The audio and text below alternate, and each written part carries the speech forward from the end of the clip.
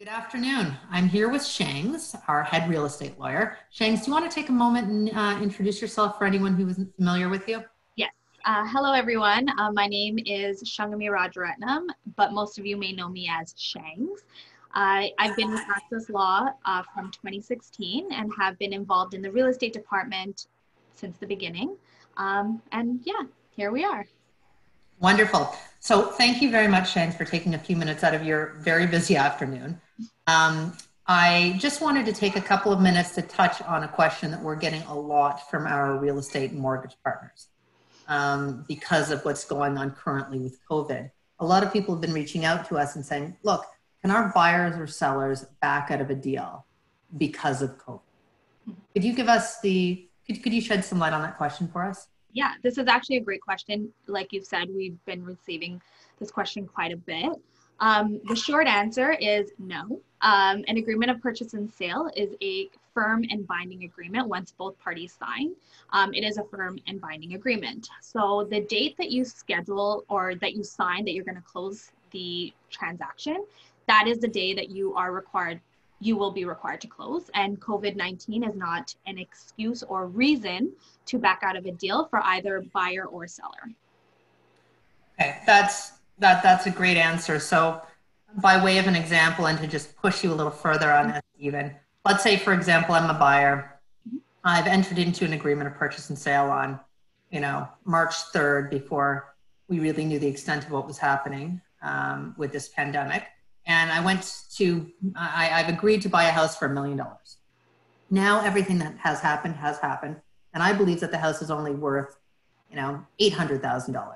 In fact, the financing that I originally qualified or I thought I was going to be able to obtain, I no longer can obtain because lenders maybe have tightened their restrictions or whatnot.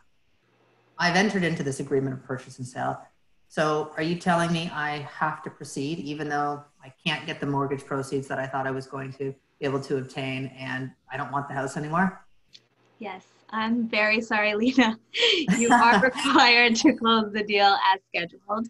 Um, unfortunately, COVID 19 is not definitely, this is, these are unprecedented times and, um, you know, a lot of things are happening that no one thought would happen. Um, a lot of people are, you know, temporarily being laid off um, and they at some some of them are not, no longer qualified for a mortgage. Um, unfortunately, COVID 19 is not the only time someone is going to actually lose a job. Knock on wood, it doesn't happen, but you could lose your job at any point. Um, you are still required, however, to close your deal as scheduled um, because the agreement is firm and binding. Um, at that point, we could, you know, try to talk to the sellers and, you know, come up with some creative solutions. Um, but aside from that, um, you will be required to close the deal as scheduled. Okay. No, great, great, great answer, Shangs. And I think, you know, the, the principle here is that the, the, the risk in terms of the valuation of the property lies with the seller until an agreement of purchase and sale is executed and is firm, at which point that shift risks to the buyer, the person who has entered into a binding agreement saying, I will pay you a million dollars for that property, $800,000 for that property, whatever it may be. At that point, anything that happens, the risk is firmly in the buyer's, um, buyer's field. Now, uh, quick question before we wrap this up and let you get back to your busy afternoon. Um, let's talk force majeure. This, this term has been thrown around. I think I'm getting invites to a webinar on it every other day.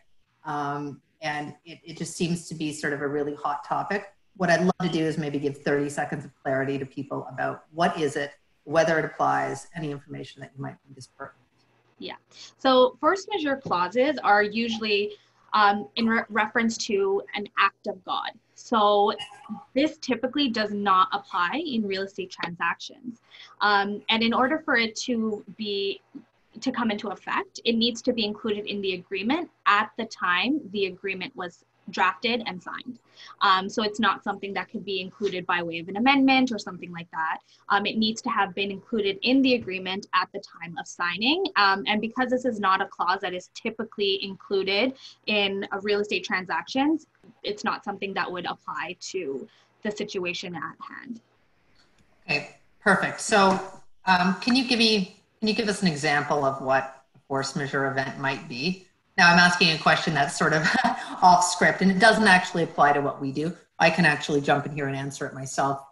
Um, but what we don't want is we don't want you guys turning around and putting these clauses into the agreement because they're not going to hold up. They will not apply um, to a situation like COVID. They would maybe apply to a situation like, you know, Earthquake. earthquake that devastates Toronto and suddenly, um, I mean, use your imagination. Yeah. Huge flood, huge earthquake, that type of thing. It does not apply to this. It will not apply to this. Um, not a good idea to start putting it into your agreement. A lot of people have sort of um, tried to make it fit the scenario, but it doesn't. So I think bottom line is if you've entered into an agreement and you've gone firm, you are obligated to hold up your end of the deal. If you haven't, if it's still conditional, you may still have some wiggle room depending on what the condition is. Is that fair to say, Shangs? Yes, absolutely.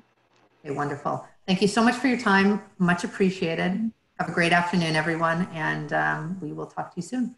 Bye.